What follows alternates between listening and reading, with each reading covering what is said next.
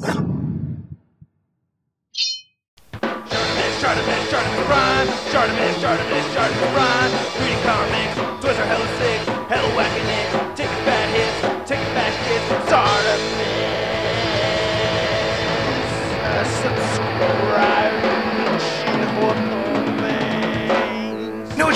Great drummer? Is the drummer from the Mengz. Hey, what's up you guys? Shartimus Prime here doing another Marvel Legends figure review on the 2016 Spider-Man Wave slash Absorbing Man Build-A-Figure Wave Venom. If you're trying to pick up this figure, you can do so now at Biggity Big Big, big, big. Get your big badass toys at BigBadToyStore.com.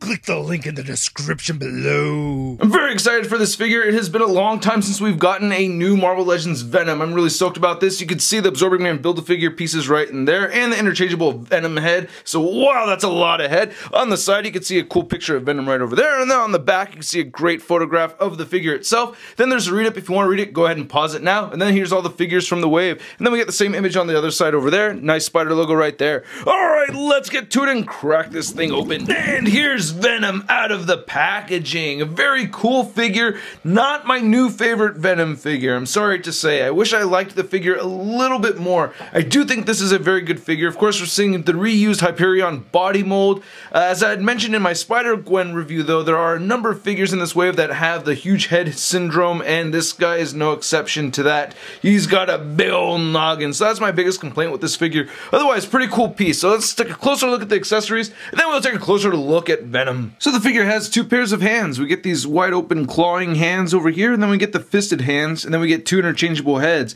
As much as I complained about not getting interchangeable hands with the Spider-Gwen, I'm just happy to see this becoming more and more of a regular thing. So here's big head number one. This is the head that the figure shows up in when you take it out of package. Nice sculpt right over there on the teeth. I think that looks really nice. Little pointy, little needly teeth. And you get that cream color right over there painted nicely with the pink behind it. I think the eyes came out looking okay. You can see it gets just a little hairy around here, but really, I think we're getting a good amount of white paint over there. I do think it's worth mentioning that it does take a little bit of might swapping these heads. And then you're just looking at the second head sculpt, which I like so much more, especially because it's got this Gene Simmons tongue with the green goop all over it. Oh man, that is just too awesome. Liking the teeth over there too. You know, they're pointy enough for, you know, major retailer figure. They're not going to be super pointy like an import figure or anything like that. I think the white paint came out really good on these eyes too. Does get a little tiny, tiny bit hairy right in the middle, but I think that's being pretty nitpicky. The amount of white paint that we get on these eyes are really nice looking. I really like it a lot. And looking at the rest of the figure, it looks really good. I think the white deco came out really well. I'm liking it. I mean, I can't really complain about it. I have a tiny little thing right there, so I could complain about it. There you go, I'm complaining. But really, I'm not that much. I'm really happy with this overall. Then you can see how it just wraps around. Yep, looks pretty good. And the cool thing about using this Hyperion body mold is that you have those ports right there, which were originally meant for a cape, but now you could use them as display stand ports. So you have your original Toy Biz stand right over here, and just plug that right into this bottom one so it stays there kind of loosely. You also have an SH figure art stand with the clip taken off. That fits into the top port right over there, so that works out well.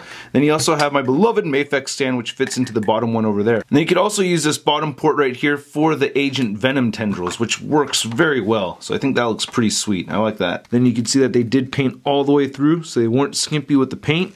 And same thing with this end over here. So I really like that. I would have appreciated some kind of navy blue shadowing effect on this figure. I think that would have really been cool. But still, you know, the black is pretty solid. Can't go wrong with it.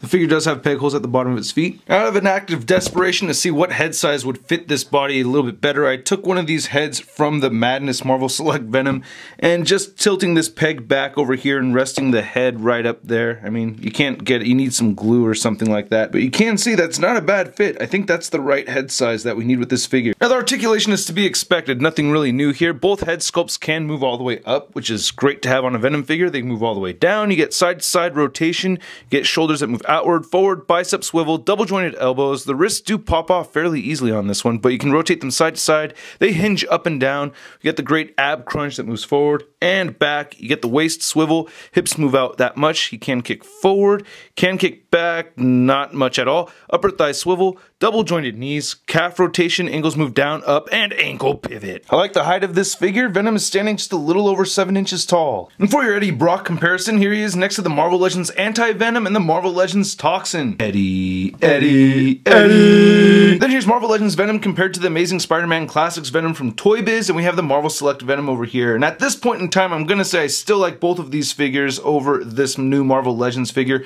This guy over here still being my absolute favorite Venom figure. Then to compare this Eddie Brock Venom to some other Venoms, we have the Mac Gargan Venom, and we have Flash Thompson Venom, and then we have the Otto Octavius Superior Venom. Venom we Party! Are, we are, we are, Then here's Venom compared to our new Marvel Legends Carnage and the Pizza Spider-Man, and having all three of these together just fits in great. And then here's Venom next to the Marvel Legends Big Time Letdown Spider-Man.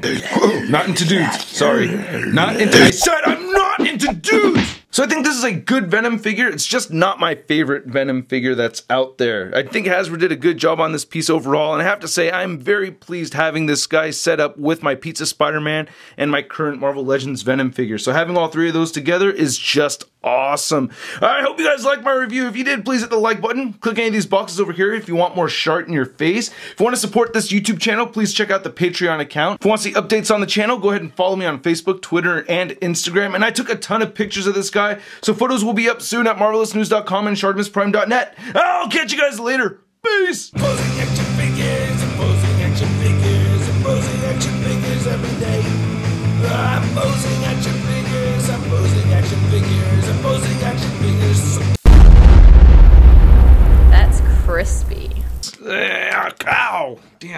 Okay, I just peeled off a bunch of skin right there. Damn.